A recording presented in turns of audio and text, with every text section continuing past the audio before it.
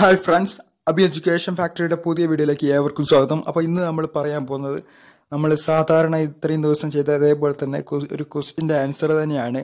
അപ്പോൾ അത് ആദ്യം തന്നെ നിങ്ങൾ എന്റെ ചാനൽ സബ്സ്ക്രൈബ് ചെയ്യുക. കൂടാതെ തന്നെ തുടർന്ന് വരുന്ന ബെല്ലൈക്കൺ ക്ലിക്ക് ചെയ്തുകൊണ്ട് തന്നെ നിങ്ങൾക്ക് ഞങ്ങളുടെ പുതിയ പുതിയ വീഡിയോകൾ ലഭിക്കുന്നതാണ്.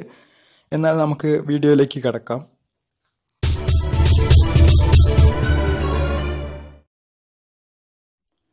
അപ്പം നമ്മുടെ ക്വസ്റ്റ്യൻ ഇതായിരുന്നു ചിതലിന്റെ തീറ്റ മണ്ണായി മാറുന്നത് എന്തുകൊണ്ട് എന്നാണ് ഇന്നത്തെ നമ്മുടെ ക്വസ്റ്റ്യൻ അപ്പോൾ നിങ്ങൾക്ക് ആർക്കെങ്കിലും ഇതിന്റെ ആൻസർ അറിയുമെങ്കിൽ നിങ്ങൾ തീർച്ചയായിട്ടും കമന്റ് ബോക്സിൽ അതിന്റെ ആൻസർ അതിന്റെ ഒരു ചെറിയൊരു സംഗ്രഹം കുറിക്കേണ്ടതാണ്.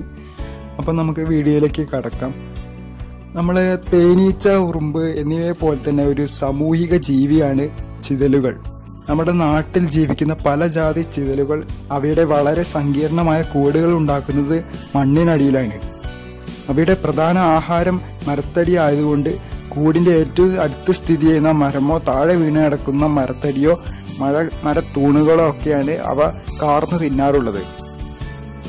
അപ്പോൾ ഈ പറഞ്ഞ ചിതലുകളുടെ മുഖ്യ ആഹാരം സെല്ലുലോസ് ആണ്. നമ്മുടെ ഭൂമിയിൽ ഏറ്റവും ധാരാളമായിട്ട് കാണപ്പെടുന്ന ഒരു പദ സസ്യപദാർത്ഥവും ഈ പറഞ്ഞ സെല്ലുലോസ് തന്നെയാണ്.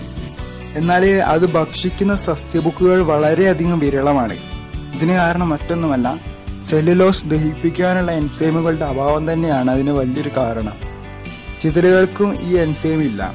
പക്ഷെ അവയുടെ കുടലിൽ സഹജീവനം നടത്തുന്ന അനേകായിരം ഫ്ലജലേറ്റ് വിഭാഗത്തിൽപ്പെട്ട ഓട്ടോസോമുകളുണ്ട് അപ്പോൾ ഇവയാണ് യഥാർത്ഥത്തിൽ ചിതൽ തിന്നുന്ന സെല്ലുലോസിനെ വിഘടിപ്പിക്കുന്നത്.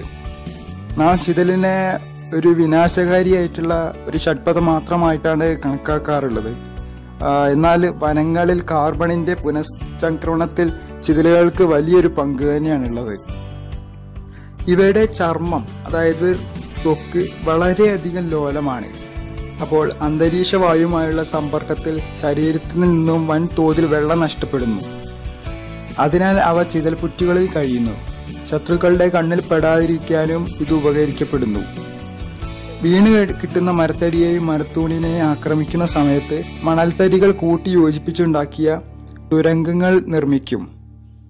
തടി മുഴുവൻ തിന്നു കഴിയുമ്പോൾ ചിതലുകൾ സ്ഥലം വിടുകയും തുരങ്കങ്ങളുടെ മൺതരികൾ മാത്രം അവശേഷിക്കുകയും ചെയ്യുന്നു.